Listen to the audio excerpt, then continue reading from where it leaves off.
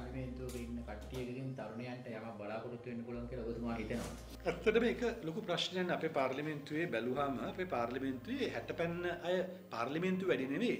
නමුත් හැමදාම කැබිනට් මණ්ඩල දිහා බැලුවාම කැබිනට් මණ්ඩලවල නම් අතිශය ප්‍රශ්නයක් තමයි ඔය වයස වැඩි පිරිස. මොකද පාර්ලිමේන්තුවේ දැන් තියෙන සම්ප්‍රදාය තමයි උගාදුරට මේ කැබිනට් මණ්ඩලය පත් කරන්නේ ජ්‍යෙෂ්ඨත්වයේ මත. ඒතොර කාලයක් තිස්සේ පාර්ලිමේන්තුවේ හිටපු ජ්‍යෙෂ්ඨයෝ යනවා කැබිනට් මණ්ඩලය. ඒ වෙන විට ඒගොල්ලන්ගේ උනන්දුවක් ගිහිල්ලා. ඒ උනන්දුව ගිහිල්ලා නිසා වැඩ කිරීමේ හැකියාවත් අඩු වෙලා දැනුම තියෙනව වෙන්න පුළුවන් බලපොරොත්තු තියෙනව වෙන්න පුළුවන්. නමුත් අර ගැම්ම කියන එක නැහැ. ඒ නිසා මම හිතනවා මේ වගේ යුගයක මේ වගේ බරපතල අර්බුදයක අපි මුහුණ දීලා ඉන්න වෙලාවේ කැබිනට් මණ්ඩලය විශේෂයෙන්ම තරුණයන්ගෙන් සමන්විත වෙන්න ඕනේ. කැබිනට් මණ්ඩලයේ උගත් ක්‍රියාකාරී තරුණයගෙන් සමන්විතු නැත්නම් මේක කවදාවත් කරන්න බෑ. ඒත් වශයෙන් මම මේ මේ කාරණේ ඔබ අහපු නිසා මම මේක නැවතත් කියන්නට ඕනේ. මේ රට පාලනය කරන්නේ විධායකේ ව්‍යවස්ථාදායකේ නෙවෙයිනේ විධායකේනේ විධායකය කියලා කියන්නේ කැබිනට් මණ්ඩලයනේ. එහෙනම් මේ රට හදන්නට නම් කැබිනට් මණ්ඩලය ක්‍රියාශීලී වෙන්නට ඕනේ. කැබිනට් මණ්ඩලය දැනුවත් වෙන්නට ඕනේ. කැබිනට් මණ්ඩලය පුළුවන් තරම් තරුණ වෙන්නට ඕනේ.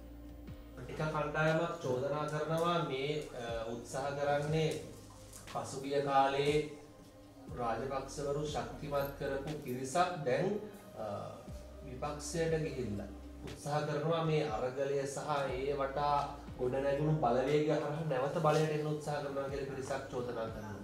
මොකක්ද ඔබතුමාලගේ පිළිතුර මොකද ඔබතුමාලටත් ඒක අදාළ වෙන්නේ? ඒ චෝදනාව දැන් ඔබ මෙහෙම හිතලා බලන්න ආණ්ඩුවක් තියෙනවා. ආණ්ඩුව අවුරුදු 5කට බලයට ඇවිල්ලා තියෙන්නේ.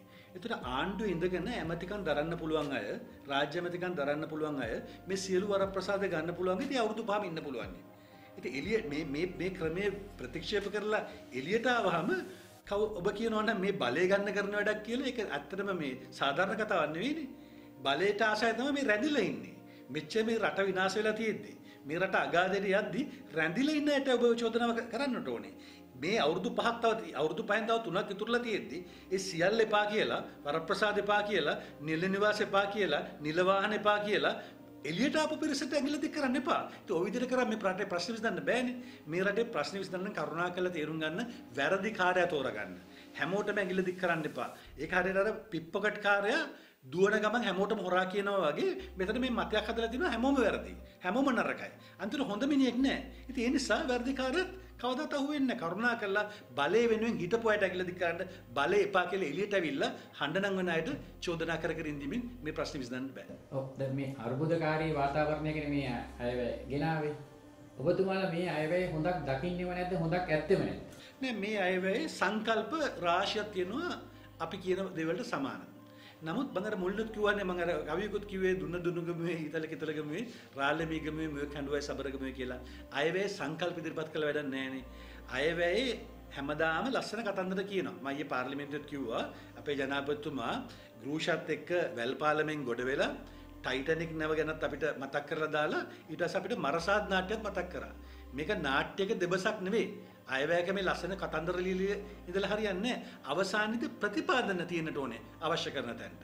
ඒ ප්‍රතිපාදන ලැබෙන්නේ නැත්නම් කොහොමද වැඩි හරියන්නේ? දැන් බලන්න ඩිජිටල් ආර්ථිකයක් ගැන කතා කරනවා. ඩිජිටල් ආර්ථිකයේ වැදගත්ම දේ රාජ්‍යාංශය ඩිජිටල් කරන්නේ. රාජ්‍යාංශය ඩිජිටල් කරන්නේට ගිය අවුරුද්දේ තිබුණා බිලියන 500 මේ අවුරුද්දේ බිඳුවයි. ඉතින් කොහොමද කරන්නේ? ඉතින් ඒ නිසා මේ අයවැය අර කියන කතන්දර ලස්සනයි. නමුත් ප්‍රතිපාදන වෙන් කිරීමේදී අපිට බරපතල ප්‍රශ්න දකින ලැබෙනවා. නිදහස ජනතා සභාව නියෝජනය කරන මන්ත්‍රීවරුන් මේට පක්ෂව ජන්ද දෙනවා මොකද තත්ත්වේ මේක මේ මෙතන දැන් සමස්ථායවැය දිහා බලලා අවසානයේ තීන්දුව ගන්නට ඕනේ. අපිට මේ වැය අයවැය අඩුපාඩු පේනවා. නමුත් අර කිව්වා වගේ සංකල්ප මේ වශයෙන් අපිට එකඟ වෙන්න පුළුවන් දේවල් තියෙනවා.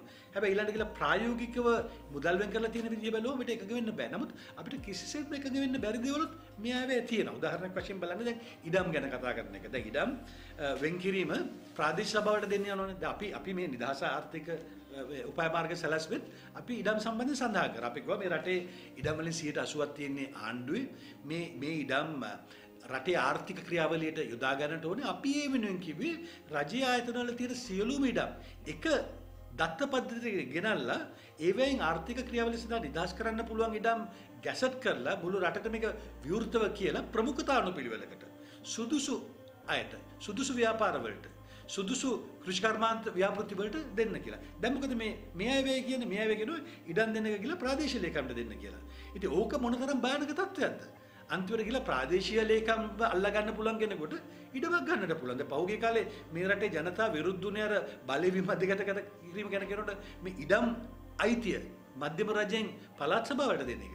දැන් මේ කතා කරලා තියෙන්නේ මොකද ඉඩම් අයිතිය ප්‍රාදේශ සභාවට දෙන්න කියලා කියන්නේ. ඉතින් ඒවා බරපතල ප්‍රශ්න ඉවයි විශාල ගැටලු ඉදිරියේදී ඇති වෙන්නට පුළුවන්.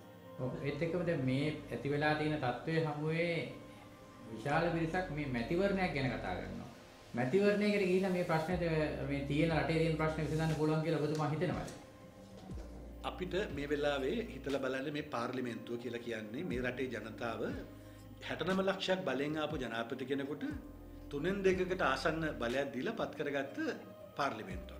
ඒතර මේ පාර්ලිමේන්තුව පත් කරගත්තේ යම් කිසි ප්‍රතිපත්ති මාලාවක් ක්‍රියාත්මක කරන්නට. දැන් ඒ පාර්ලිමේන්තුවට සාධාරණීකරණය කරන්න පුළුවන්ද? ඒ පාර්ලිමේන්තුව අද පත් කරගෙන තිබෙනවා ඒ ජනතාව ප්‍රතික්ෂේප කරපු.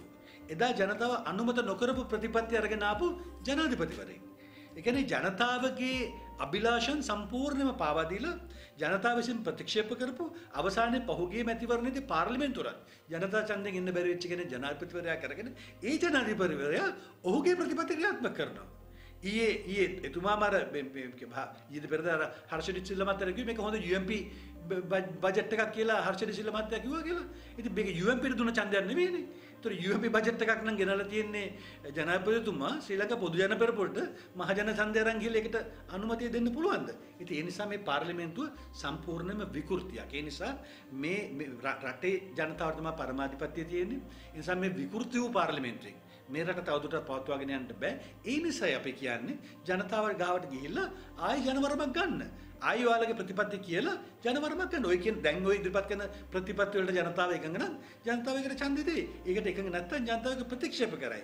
එහෙම නැතුව හිටපු ජනාධිපතිවරයා ගිහිල්ලා එන අනුප්‍රාප්තික ජනාධිපතිවරයෙකුට මේ රටේ සියලු ප්‍රතිපත්ති අපි කතා කරපු සියලු ප්‍රතිපත්ති වෙනස් කරන්න ඉඩ ලැබෙනවා නම් ඒකට අපිට එකඟ වෙන්න බෑ. ඒකයි අපි මැතිවරණයක් අවශ්‍යයි කියලා කියන්නේ. නමුත් රටක ජනමතයක් විමසන්නේ වසර 5කින් 5කට. දැන් හිටපු ජනාධිපතිවරයා එතුමාව ප්‍රතික්ෂේප කරනකොට ජනතාව එතුමා ආරාධනා කරා ඊට වඩා තිබ්බ කට්ටියට. ඒ කියන්නේ පාර්ලිමේන්තුව තුළ බලය තිබ්බ කට්ටියට. මේ කවුරුත් වගකීම බාර ගන්න නැති අවස්ථාවක දුවන කෝච්චියට බොල් බෙල්ල දිනනවා වගේ වැඩක් නේ රනිල් වික්‍රමසිංහ මහත්තයා කරේ. එහෙම කරලා ඒ මේ වෙනකොට යම්කිසි ස්ථාවර තත්වයකට රට ගෙනාවා කියන රටේ ජනතාවගේ පිළිගැනීමක් තියෙනවා.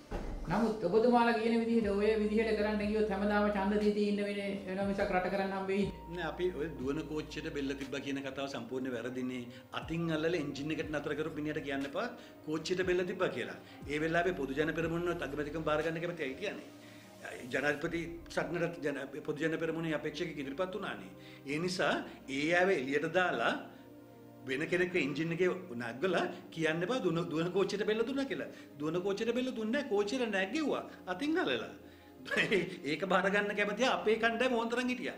ඒ වෙලාව ඒ වෙලාවේ අපිට දුන්නා අපිත් ගන්න අපෙන් ඇහුවේ නැහැ. අපේ අපේ කණ්ඩායමට පගේ ඇහුවේ නැහනේ. ජනාධිපතිතුමා තෝරාගත්තේ වෙනත් පුද්ගලෙක් යම් කිසි හේතුවක් නිසා. ඒක සමහරට පවුලේ තීන්දුවක් වෙන්නේ නැති. ඊට පස්සේ පවුල එකට එකතු වෙලා එයාට ඡන්ද 134 කරන් දීලා පත් කරගන්නවා. ඉතින් ඒ නිසා කවදාවත් ඔය ඔය කතාව කියන්න එපා. දුවන කෝච්චියට නම් රනිල් වික්‍රමසිංහ මහත්තයා බෙල්ල දුන්නේ නැහැ. උන්න හැබැයි අතින් අල්ලන් ඇවිල්ලා තමයි මෙතන තියාගත්තේ. දැන් මේ මේ මුදල් රාජ්‍ය අමාත්‍යතුමා කියනවා සෙස් බද්දෙන් අත්‍යවශ්‍ය භාණ්ඩවල මිල ඉහළ යන්නේ නැහැ කියලා. ඔබතුමාට දැනීමක් තියෙන සම්බන්ධයෙන් මොකක්ද අදහස? නෑ නෑ ඔය ඔය ඔය කතා කරන්නේ වචන වචන හරඹයක් නේ. දැන් අපේ බදු වර්ග රාශියක් තියෙනවා. දැන් අගේ එකතු කිරීමේ බද්ද දැන් මේ මාසෙ ඉඳන් ක්‍රියාත්මක වෙනවා. එතකොට සෙස් බද්ද කියලා කියන්නේ තවත් බද්දා. ඊළඟට සමාජ ආරක්ෂක බද්ද කියලා කියන්නේ තවත් බද්දා. ඉතින් මේ මේ යම් සමහර බදු මේ මාසෙ ඉඳන් ක්‍රියාත්මක වෙනවා. විශාල වශයෙන් මම හිතා බාණ්ඩ 600 විතර මිල වැඩි වෙනවා. එතකොට එක බද්දක නමක් කියලා ඒ බද්ද ක්‍රියාත්මක වෙන්නේ නැහැ කිව්වට හරියන්නේ නැහැ. වෙන බදු ක්‍රියාත්මක වෙනවා. අවසාන ප්‍රතිඵලය තමයි මේ මිල වැඩි වෙනවා. එහෙම ඒ මිල වැඩි වෙන්නේ නැත්නම් කොහොමද ආණ්ඩුව කියන්නේ මේ අවුරුද්දේ මේ රාජ්‍ය ආදායම 100ට 200 වැඩි වෙනවා කියලා. ඉතින් වැඩි වෙන්නේ බදු වැඩි වෙන නිසානේ. අවසානයේ මිනිස්සු බදු ගෙවන නිසානේ. මොකද 180ක් මේ රටේ තියෙන වක්‍ර බදු. වක්‍ර බදු වැඩි වෙන්නේ නැත්නම් රාජ්‍ය ආදායම මේ විදිහට වැඩි වෙන්න බෑනේ. එක්ක ආණ්ඩු බොරු කියන අපේ රාජ්‍ය ආදායම වැඩි වෙන්න යනවා කියලා. එහෙම නැත්නම් ඇමතිතුමා බොරු කියනවා. ඇත්ත කතාව තමයි බදු අසීමාන්තික ලෙස වැඩි කරලා තියෙන්නේ. ඒ බදු ඉදිරියේදී තවත් ජනතාවට විඳින්නට වෙනවා. මේ මාසයන් තවත් ක්‍රියාත්මක වෙනවා. ඉතින් ඒ නිසා මේ මේ මේ ප්‍රශ්නය ජනතාව එන්න එන්න එන්න පීඩනයට ලක් කරනවා මිස සහනයක් නම් මට පේන්නේ නැහැ මෑත කාලීන අනාගතේ. හැබැයි දැන් ඔබතුමා එහෙම කිව්වට මේ ආණ්ඩුව පාර්ශවයෙන් උත්සාහ කරනවා කියන්න දැන් මේ වෙනකොට මේක මේ ස්ටේබල් නැත්නම් මේ විස්ථායි වෙලා තියෙන්නේ. එහෙම නැත්නම් කියනවා ඩොලර් එක එක මට්ටමේ දැන් රැඳී පවතිනවා. මොකක්ද මේ தත්ත්වය? ඔබතුමා කොහොමද මේක දකින්නේ? ඔබතුමා මට කියන්න ඔබතුමා කඩේට ගිහලා බඩු ගන්නකොට බඩු මිල වැඩි වෙලා නැද්ද? ගිය මා- ගිය අවුරුද්දේ මේ මාසෙට තිබුණාට වඩා? දැන් උද්ගමනය කියන එක ගිය මාසෙට කලින් මාසේ 74යි ගිය මාසේ 70 වුණාම ඒ කියන්නේ බඩු මිල අඩු වෙලා නෙවෙයි. ගිය ගිය අවුරුද්දේ මේ මාසෙට වඩා බඩු මිල වැඩි වෙන ප්‍රමාණය ඊට කලින් මාසෙට වඩා අඩුයි. බඩු මිල කොහොමදත් වැඩි වෙලා? දල වශයෙන් 70ක් විතර බඩු මිල වැඩි වෙමින් වැඩි වෙමින් පවතිනවා. ඉතින් එතකොට මේ සංඛ්‍යා ලේඛන කරකවල ජනතාව රවට්ටන්න උත්සාහ කරන්න එපා. දැන් මොනවද මේ මේ රුපියල ස්ථාවර වෙලා කියලා කියන්නේ? රුපියල පාවෙන්න ඇරියා. පාවෙන්න ඇරියාම රුපියල ගියා 380ට විතර වගේ. දැන් ආණ්ඩුව ආයි පාලනය කරන එක ජනතාවට කියන්න තුක ආණ්ඩුව පාලනය කරනවා. දැන් රුපියල් නිදහස් කරලා නැහැ. නිදහස් කරන්න කියන්නේ ඇත්තට බලන්න 500ට යනවා. ඉතින් ඒ නිසා මේක බලෙන් අල්ලගෙන දැන් ස්ථාවරයි කියලා බෙල්ලෙන් අල්ලගෙන කියනවා මෙයා ස්ථාවරයි කියලා. ඒවයි කතාවක කියන්නේ? මේක ස්ථාවර වෙලා නැහැ. මේක සම්පූර්ණයෙන් අස්ථාවරයි. කොහොමද ස්ථාවර වෙන්නේ? අප- අප- අප- අපිට බිලියන් මේ අවුරුද්දේ ණය ගැනීමේ අවශ්‍යතාව ට්‍රිලියන පහක්. මේ බජට් එකේ තියෙනවා. ට්‍රිලියන පහක් කියලා කියන්නේ මොනතරම් විශාල මුදලද කියලා තේරුම් ගන්න මම ඔබතුමාලට මේක පැහැදිලි කරන්නම්. 2005 2014 කාලේ අවුරුදු 9ක් ඒ ආණ්ඩුව ගත්ත සමස්ත ණය ප්‍රමාණය ට්‍රිලියන 5.2 අවුරුදු 9කට දැන් මේ අවුරු එක අවුරුද්දකට ගන්න යනවා ට්‍රිලියන 5ක් ස්ථාවර වෙලාද? ඊළඟ යහපාලන ආණ්ඩුව. රනිල් වික්‍රමසිංහ මහත්මයා අගමැති වෙලා හිටපු ආණ්ඩුව. අවුරුදු 5කදී ගත්ත ට්‍රිලියන 5.6ක් මේ අවුරුදු ගන්නන ට්‍රිලියන 5ක් ස්ථාවර වෙලාද ඒ නිසා මේ මේ සුරංගනා කතාවලට රැවටෙන්න එපා. අපි බරපතල අර්බුදයක ඉන්නේ. මේ අර්බුදයෙන් ගොඩ එන්න විසඳුම් තියෙනවා. හැබැයි මේ ආණ්ඩුව ඒ විසඳුම් ක්‍රියාත්මක කරන්නේ නැහැ. ඔව්. නමුත් ඔබතුමාලත් මැදිහත් වෙලා දැන් ඔය යහපාලන ආණ්ඩුව බලයෙන් පහ කළා. ඔබතුමාලා බලයට ඔබතුමත් මැදිහත් වෙච්ච වියත්මගේ ගොඩක් දේවල් ජනතාවගේ ඔළුවට දුන්නා. නමුත් ඒව මහ පොළොවේ පැල කරගන්න බැරි වෙච්ච නිසා නේද? අද මේ තත්ත්වයට රට. සම්පූර්ණයෙන්ම. අපි අපි අපි කියපු කතා ඒ අපි කියපු දේවල් ක්‍රියාත්මක කරා නම් මේවා මේ විදිහට වෙන්නේ නැහැ කියන එක මම නැවත නැවත කියනවා. අන්තිමට කවුද ගෝඨාභය රාජපක්ෂ මහත්මයා ගෙනල්ලා ආර්ථික කළමනාකරණය කරන්න දාගත්තේ? ආචාර්ය පී.වී. ජයසූරිය කියලා කියන්නේ වියත්මගේ හිටපු කෙනෙක්ද? මුදල් ඇමති වෙලා හිටියේ මහින්ද රාජපක්ෂ මහත්මයා නෙවෙයිද? ඊට පස්සේ මුදල් ඇමති උනේ බැසිල් රාජපක්ෂ මහත්මයා නෙවෙයිද? මහ බැංකුව අධිපති වෙලා හිටපු වී ලක්ෂ්මන් මහත්මයා වියත්මගේ හිටපු කෙනෙක්. ඒ නිසා කරුණා කරලා මේ රට පාලනය කිරීම මේ ආර්ථික ක්‍රියාවලිය කිසිම බලයක් තිබිච්ච නැති පිරිසකට ඇඟිල්ල දික් කරන්න එපා. ඒ අයට කරන්න දුන්නා නම් මේක කරනවා. මේ ප්‍රශ්නේ අපි දැක්ක මේ මේ අවුරුද්දකින් මේ ආර්ථික අර්බුදය එනවා කියන එක දකින්න බැරි නම් වැඩක් තියෙනවා ෆයිනන්ස් මිනිස්ට්‍රියගේ ෆයිනෑන්ෂල් රිපෝර්ට්ස් ගත්තාම අපි දන්නවා ඉතුරු අවුරුදු පහටම ගෙවන්න තියෙන ණය මොනවද කියලා. ඒ ප්‍රශ්නේ අපි දැක්කා. ඒවට කරන්න ඕන විසඳුමුත් අපි කිව්වා. ඒ කියපු කිසි දෙයක් ක්‍රියාත්මක කරේ නැහැනේ. ඒ වියත්මගේ පැත්ත පලාතේ හිටපු නැති ප්‍රතිපද ප්‍රකාශන හදන්න කිසිම සම්බන්ධයක් උන්නේ නැති ඒවා ක්‍රියාත්මක ඒවට විරුද්ධ වෙච්ච අය ගෙනල්ලා ආර්ථික කළමනාකරණය කරන්න දීලා ආර්ථිකය විනාශ කරලා වෙනකට දොස් පවරන්නට එපා. අපි දැන් අපි දැනුත් කියන්නේ කරන්න පුළුවන් දේ. අපි එදත් කිව්වේ කරන්න පුළුවන් දේ. නොකරපු නිසා තමයි ආර්ථිකයට මේ විනාශය සිදු වුනේ. නමුත් ඔබතුමාලා ඔය ආර්ථික අර්බුදයට එන්නේ ඉස්සෙල්ලා ඔය විදිහට ජනතාව ඉස්සරහට ඇවිල්ලා කතා කරේ නෑනේ. ආර්ථික අර්බුදයට එන්න ඉස්සෙල්ලා නේ අපි ප්‍රතිපත්ති ප්‍රකාශ ඉදිරිපත් කරේ. ද ප්‍රතිපත්ති ප්‍රකාශයේ තියෙන මොන හරි දෙයක් අපි අභියෝග කරනවා ඒක අපිට අභියෝගයට ලක් කරන්න පුළුවන්. එතකොට දැන් දැන් උදාහරණයක් වශයෙන් දැන් කාටද එළියට ඇවිල්ලා කතා කරන්න පුළුවන්? ආර්ථික කළමනාකරණය ගැන. ආර්ථිකය හසුරුවන අයටනේ. අනික් අයට කතා කරන්න බෑනේ. සාමූහික වගේ තියෙදි එළියට ඇවිල්ලා අපි ඇතුලේ කතා කරලා තියෙනවා. උදාහරණයක් වශයෙන් අපි ওই පොහොර ප්‍රශ්න විරුද්ධව කතා කරා. අපි මේ දේශීය අ, නිෂ්පාදන නංවන්න කියලා ටයිල් අප ආනයන රෙස්ට්‍රික් කරනවා වගේ දේවල් විරුද්ධව කතා කරා. LRT ටික වහන්න එපා කියලා අපි කතා කරා. කතා කරාට කතා කරපු පමණින් ඒවා ඇවිල්ලා මධ්‍යවල පළවෙන්නේ නැහැ නේ ඇතුලේ කතා කරනවා. හැබැයි අපි මේ ආණ්ඩුව තවදුරටත් දුවන්න බෑ කියන කතන්දරේ කිව්වා මහින්ද රාජපක්ෂ මහත්මයා බැයි නම වෙනදා? ඉවත් වෙන්න කලින් මම ඉල්ලාසුමි ලිපිය දුන්නේ මම ඉල්ලාසුමි ලිපිය දුන්නේ මේක කරන්න බෑ කියලා ඊට කලින්. කැබිනට් මණ්ඩලය කැබිනට් ඇමති කෙනෙක් වශයෙන්. පත් කරලා තියෙද්දි ගිහිල්ලා කිව්වා මේක කරන්න බෑ මම ඉල්ලාස් වෙනවා කියලා. ඊළඟ ජන ගෝඨාභය රාජපක්ෂ ජනාධිපති මහත්මයා ජූ- ජූලි 9 වෙනිදා යන්න කලින් අපි කිව්වා ගෝඨාභය රාජපක්ෂ මහත්තයා යන්න ඕනේ කියලා. මොකද ඒ නොකිය බැරි නිසා අපි මේ අපි මේ දුෂ්ට මිනිස්සු නෙවෙයි අපි ද්‍රෝහී මිනිස්සු නෙවෙයි. නමුත් නොකිය බැරි නිසා අපි කිව්වා. නමුත් ආණ්ඩුවක් බලයට ඇවිල්ලා අතිශය ජනප්‍රියතාවක ඉන්න වෙලාවක අපි කියන බැලි වෙලාවේ මාධ්‍ය වල යන්නේ. ඒ වෙලාවේ මාධ්‍ය වල යන්නේ ජනප්‍රිය තොරතුරු පමණයි. ඔව් දැන් මේ අවස්ථාවේ ඔබතුමාලා දැන් අද කතා කරේ තරුණයෝ ගැන. තරුණයෝ ගැන කතා කරන්නේ මේ ළඟ බලය ලබා ගැනීමේ තරුණ බල ශක්තිය ඔබතුමාලා වටා එක්රොක් කරගන්නද? නෑ තරුණ ගැන අපි කතා කරන්නේ වර්තමාන પરම්පරාවට අනාගත પરම්පරාව ගැන වගකීමක් තියෙන නිසා. මොකද ඒ ඒ වගකීම අපි හැමතිස්සෙම ගන්න බෑ. අපි ඔක්කොම දරුවෝ ඉන්නවා. මටත් දරුවෝ ඉන්නවා. හරි අපි අපි අපි අනාගත අපි කතා කරනකොට මේ රටේ අනාගත පරම්පරාව ගැන ඔබ මගේ අපි හැමෝගෙම දරුවෝ ගැන අපි කතා කරන්නේ. ඒ වගකීම අරගෙන තමයි අපි දරුවෝ පරම්පරාවට තියෙන ප්‍රශ්න ගැන කතා කරන්නේ. මේක බරපතල ප්‍රශ්නයක් නේ මම මුලින්ම කිව්වා මේ රටේ ජනගහනය 150කට වැඩි පිරිසක් තරුණයෝ නම් ඒ අයට රැකියාව සපයන්නට ඒ අයට අනාගත අවස්ථා සපයන්නට මේ රටේ අවස්ථාවක් නැත්තම් ඒව ගැන අපි කතා කරන්නේ නැත්තම් අවසානයේදී මේ දරුවෝ ඇවිල්ලා දඬුවම් දෙවි හැමෝටම. ඉතින් ඒ නිසා මේක සෙල්ලමක් නෙවෙයි. මේක වැදගත් කාරණා. මේක මේ ඡන්ද බලාගෙන කරන දෙයක් නෙමෙයි. ත- අපි කියන තරුණයන්ට තරුණයෝ ඇවිල්ලා දේශපාලන පක්ෂ පිටුවා ගන්න. ඉන්න දේශපාලන පක්ෂ වලට සම්බන්ධ වෙන්න. හැබැයි මේ ආර්ථික සංවර්ධන ක්‍රියාවලියට විසඳුම් හොයන අය හොයා ගන්නට. එහෙම නැතුව නිකන් ඉන්න අය ඔක්කොටම ගහලා එලවලා මේ පන්නලා ඊට පස්සේ කිසි දෙයක් කරලා නැති ක- පෙට්ටි කඩයක්වත් දුවලා නැති පිරිසකට බලය දුන්නා කියලා මේක හදන්න බෑ. මේ ආර්ථිකය ගැන දැනුවත් තියෙන ආර්ථිකය ගැන කතා කරන ආර්ථිකය ගැන විසඳු සපයන අයත් එක්ක එකතු වෙන්න තරුණයන්ගේ අදහසුත් එකතු කරගෙන එහෙම තමයි රට දුවන්න පුළුවන්. දැන් ඉන්න අය කරන්නේ නැහැ කියලා කවදාත් මුකුත් කරපු නැති අයට දීලා හරියන්නේ නැහැ. මේ ඉන්න අය අතර ඉන්නව කරලා කරලා කරලා වැඩ පෙන්නපු අය. ඉන්න අය අතර ඉන්න ඕන තරම් උගත් මිනිස්සු. ඉන්න ඉන්න හැරදි හැමදාම කතා කරපු අය. ඒයට අවස්ථාව ලබා දෙන්න. එහෙම නැත්නම් කවදාවත් කිසි දෙයක් කරලා නැති අවස්ථාවක් ලැබිලා නැති අය ඇවිල්ලා මේ වැඩේ කරයි කියලා හිතන එක නම් තවත් මුලාවක් වෙන්නට පුළුවන්.